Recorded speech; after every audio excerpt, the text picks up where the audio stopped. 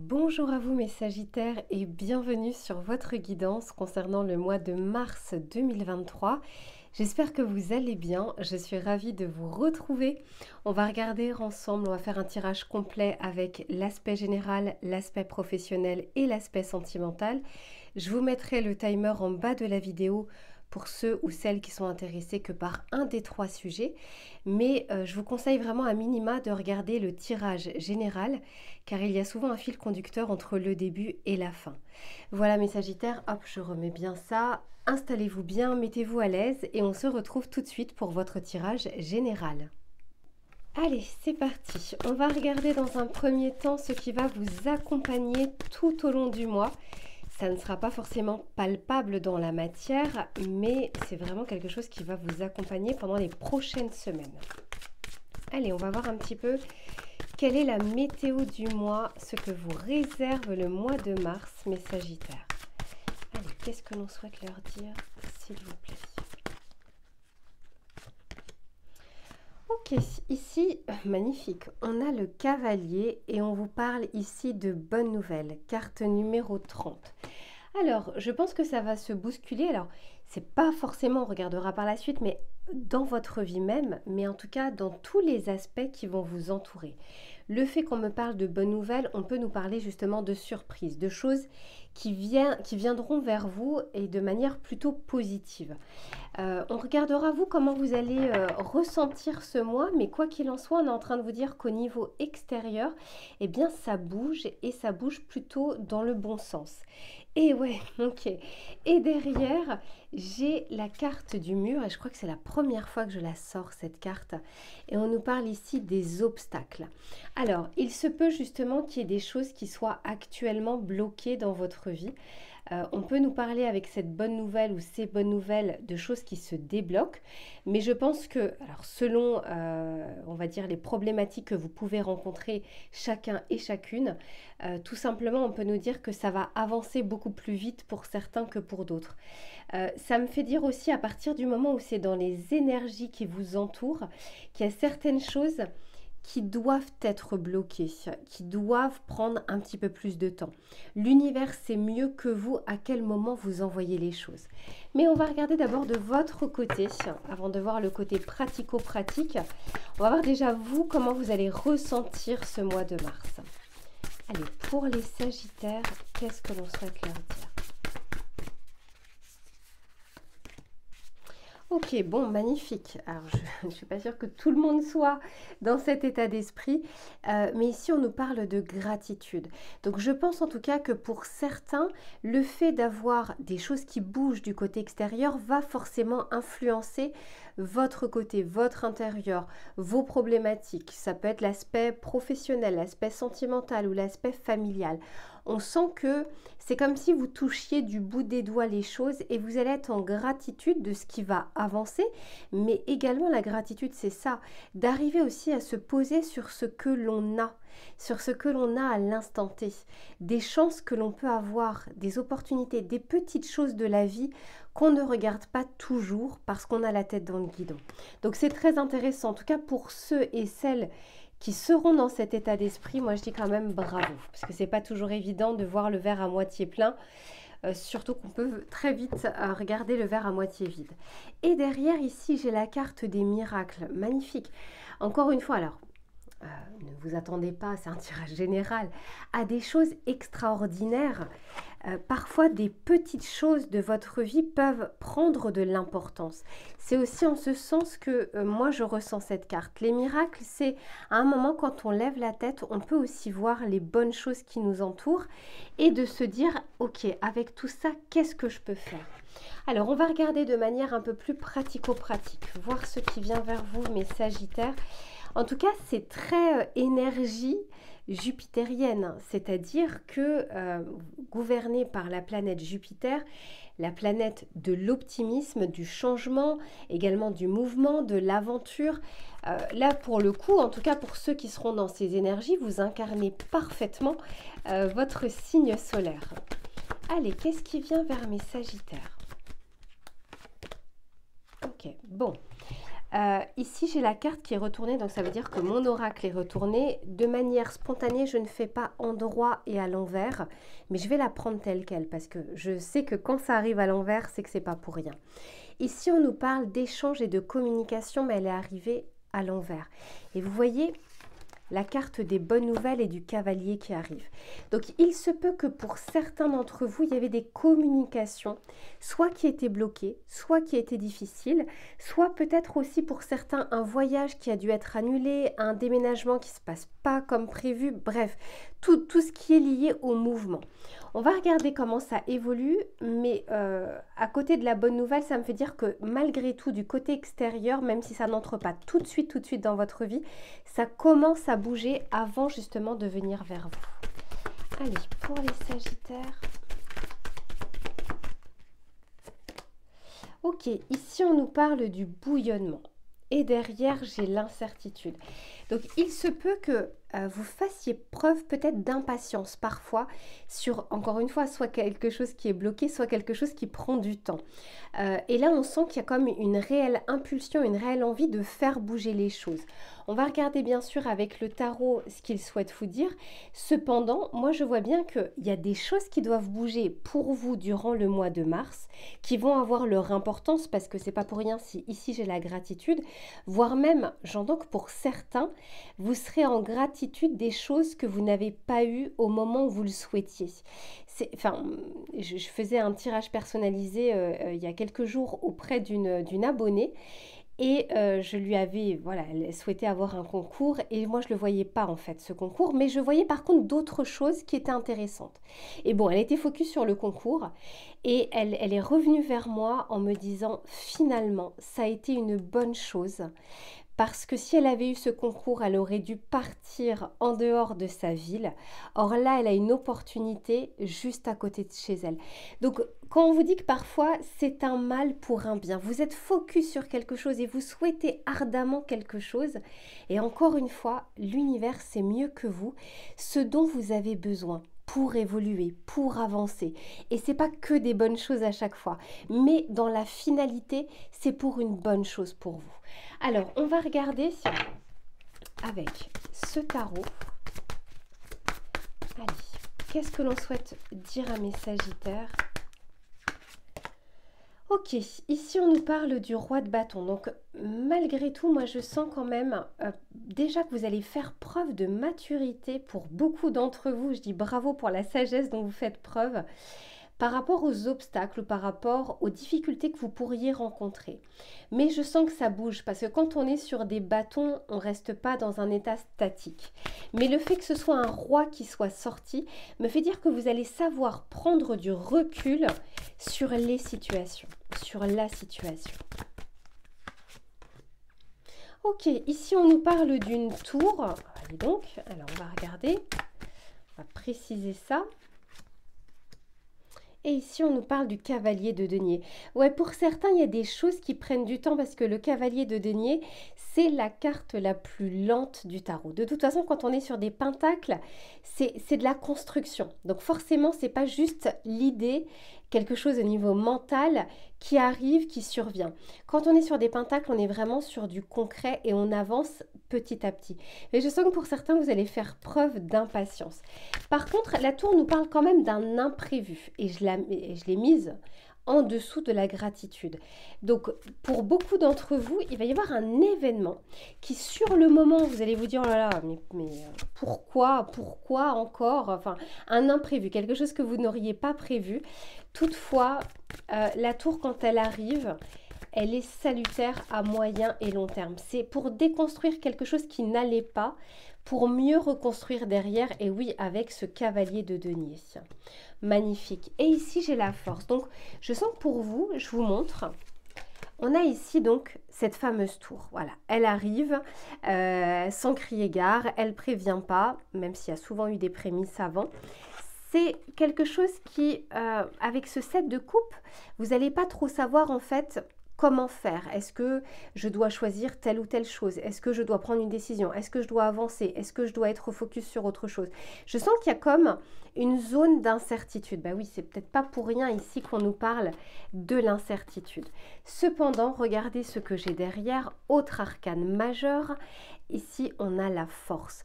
Donc, euh, pour beaucoup d'entre vous, ça va vous permettre soit de voir une situation de manière différente, soit de trouver une solution par des chemins de traverse qui se, qui se révélera en fait bien meilleur pour vous que le plan que vous aviez construit.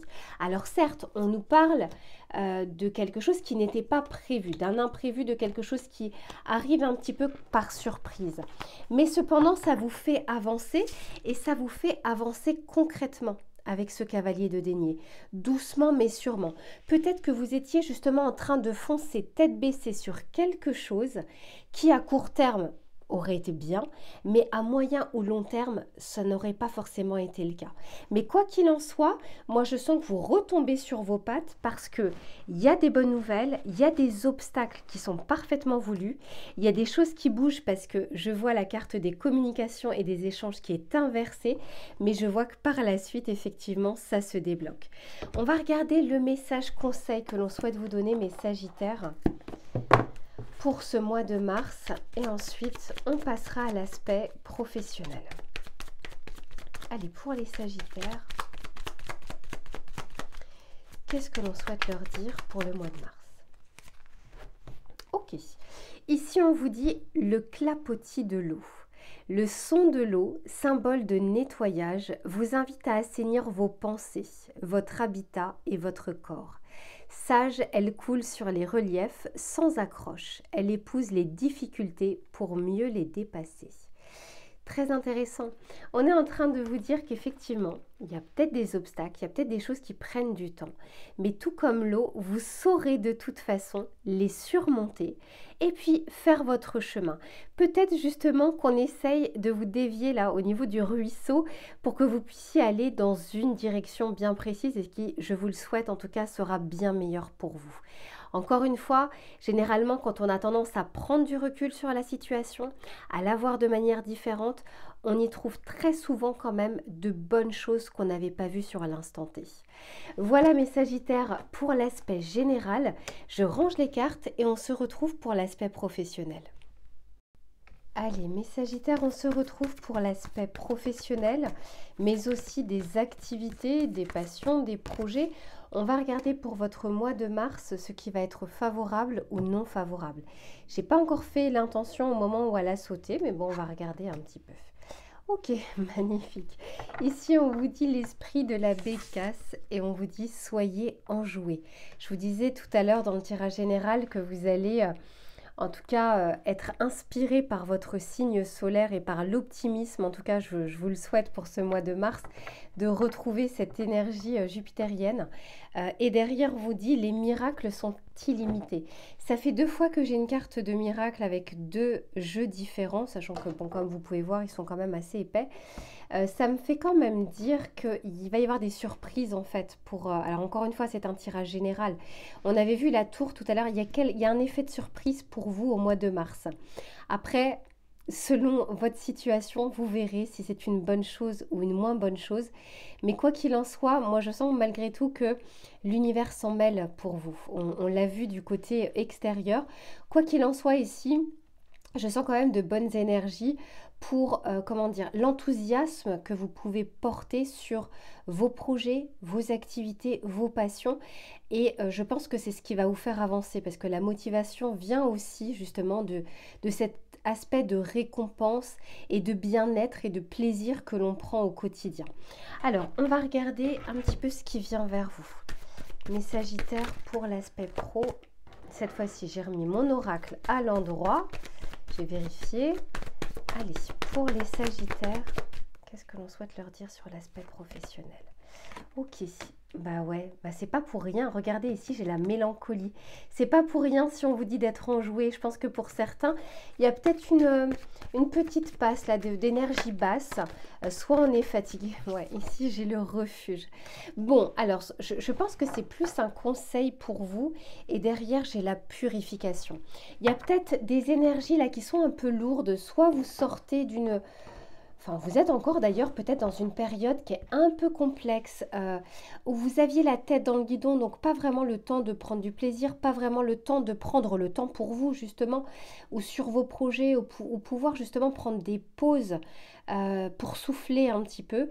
Euh, là, je ressens qu'on est vraiment euh, tiraillé entre les énergies qui peuvent être un peu lourdes et en même temps l'envie, dans tous les cas, d'avancer, l'envie de faire des choses dans votre vie. Peut-être l'envie de rechercher du travail, l'envie d'évoluer professionnellement. C'est vraiment cette dualité entre j'ai envie, mais j'ai l'impression que le corps ne suit pas. parfois, je me motive, j'essaie de me motiver, mais très rapidement, je me décourage.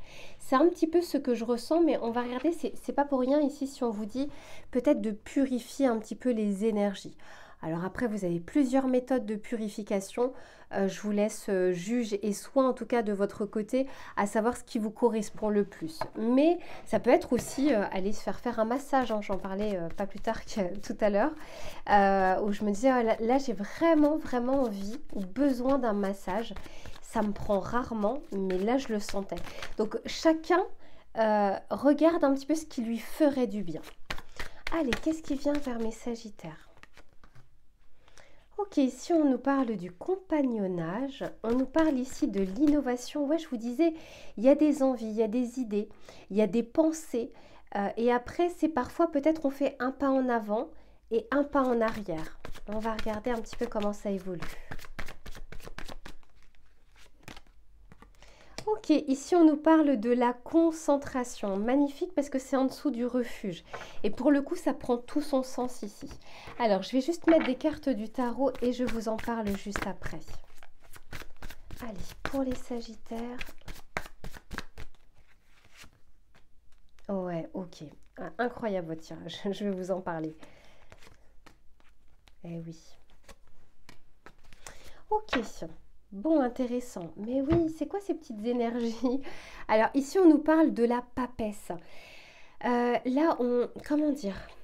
C'est peut-être aussi un sentiment pour certains de solitude, de, euh, de ne pas forcément parler de vos projets, de ne pas pouvoir parler de vos idées. Ça peut être volontairement, mais ça peut être aussi parce que vous sentez que là, vous n'allez pas forcément être écouté. Ça peut être au niveau de votre entourage proche, comme ça peut être au niveau de l'entourage professionnel. Ici, je vois la mélancolie, je vois le compagnonnage et je vois ici la lune. Donc déjà, on a quasiment deux fois en tout cas une représentation de lune.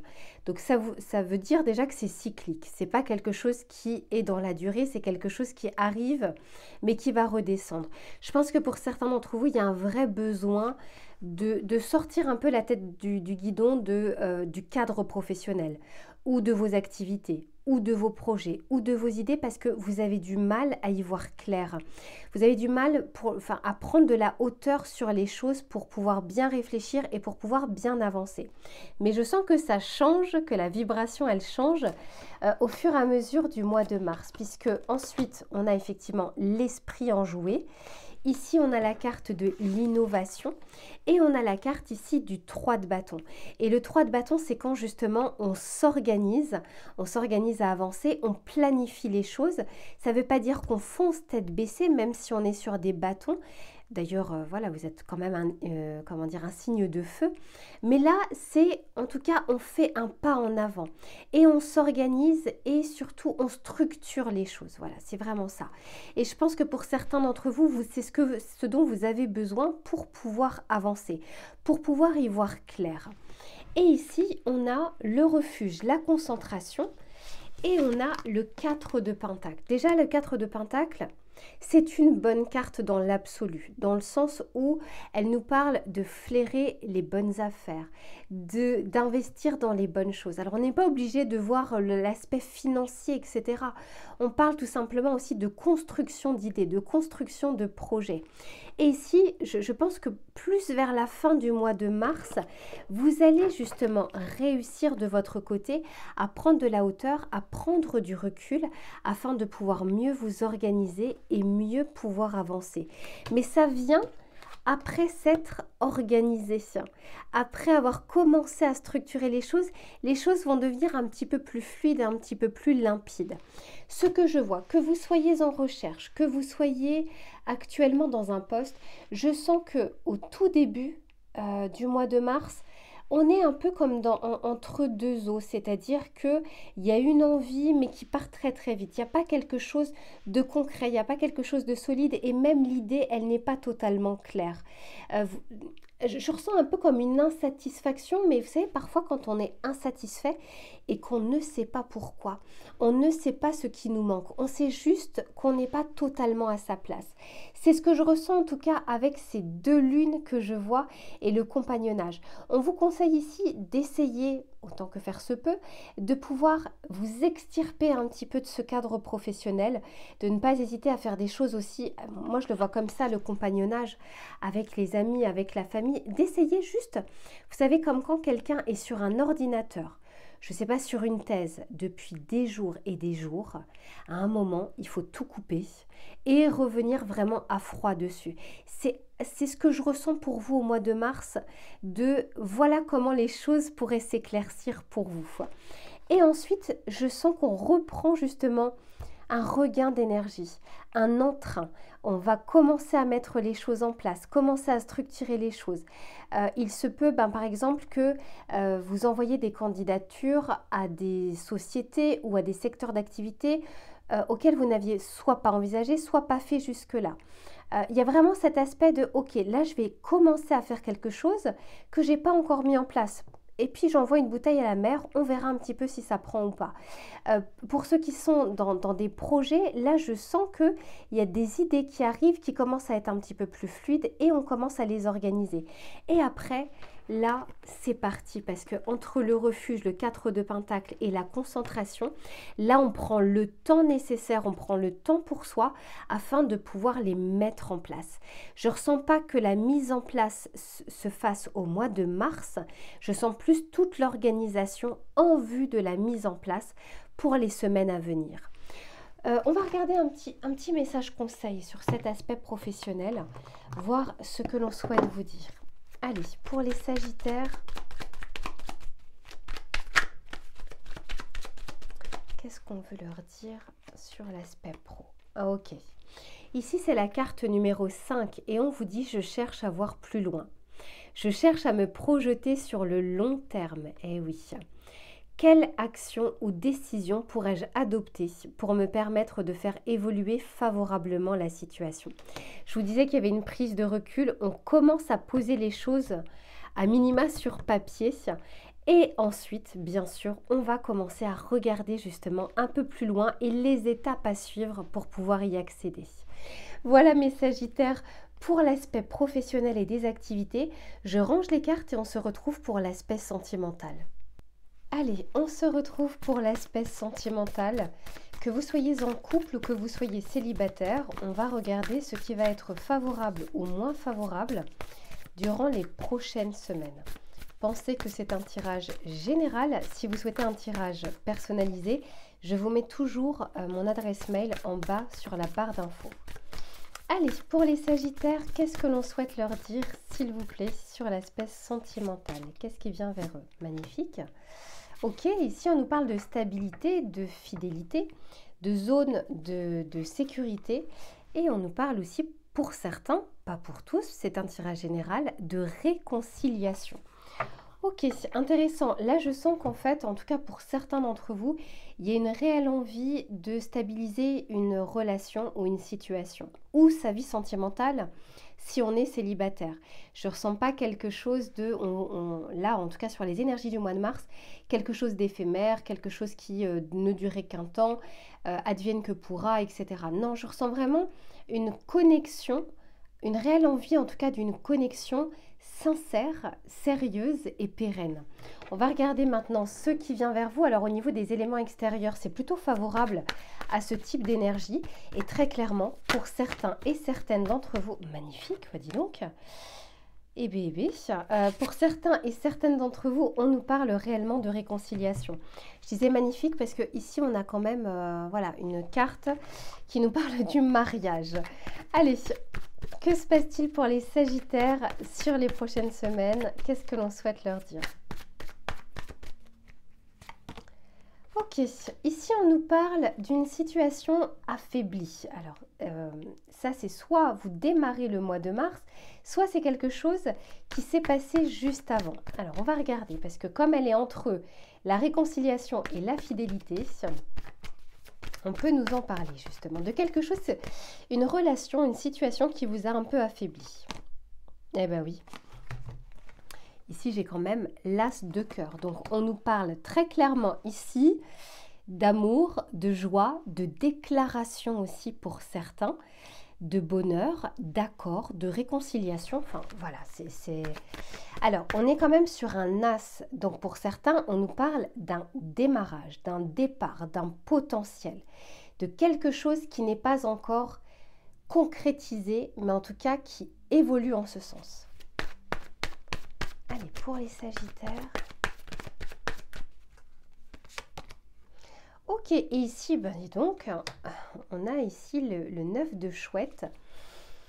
Euh, le, 7 de, le 7 de chouette qui nous parle euh, d'abondance, de quelque chose qui est... Euh, enfin, abondance, ça veut dire qui est positif, qui, est, qui va dans votre sens en tout cas, ou qui va dans le bon sens. Et derrière, ici, on nous parle, ok, d'étrangers. Pour certains, on peut nous parler aussi d'une situation où vous étiez à distance. Ça peut être distance géographique, mais ça peut être aussi distance relationnelle, émotionnelle, parce que vous étiez en froid ou parce que euh, voilà, la situation était compliquée ou il pouvait y avoir une rupture ou autre. Euh, pour les célibataires, il se peut qu'il y ait une rencontre avec quelqu'un qui voyage beaucoup ou qui n'est pas dans votre cercle habituel de rencontre. Euh, quelqu'un qui se démarque de ce que vous avez connu ou de ce qui vous attire généralement. On va regarder avec le tarot, voir un peu ses précisions. Allez, qu'est-ce que l'on souhaite dire à mes sagittaires? C'est un beau tirage en tout cas. Hein. C'est euh, par la première carte. Euh, j'en ai deux, j'en veux qu'une. Allez, pour les Sagittaires. Ok, ici on nous parle du cavalier de bâton. Donc pour certains, moi je, pense qu'il y a vraiment des communications qui reviennent. Il se peut que vous ayez un message, que vous ayez, ou, tout simplement euh, vous reparlez à une personne, une personne avec qui soit vous étiez en froid, soit la communication était compliquée. Ça peut être aussi avec votre autre, hein. on peut tout à fait être avec quelqu'un et l'un dans la chambre, l'autre dans le salon. C'est un problème de communication et bien qu'on soit en couple, on est à distance, euh, grosso modo. Mais là, je sens qu'il y a vraiment quelque chose qui s'apaise. Euh, pour ceux qui sont célibataires, euh, honnêtement, il y a une rencontre possible ici. Hein. Et entre le cavalier de bâton et ici l'homme étranger, ça me refait dire que c'est quelqu'un, encore une fois, soit qui a, ça peut être à distance géographique, que vous allez peut-être rencontrer lors d'un déplacement ou lors d'un voyage. Ça peut être quelqu'un qui voyage beaucoup, un peu globe-trotteur ou, dans le cadre de ses activités. Ou alors, c'est vraiment quelqu'un qui se démarque totalement de vos ex.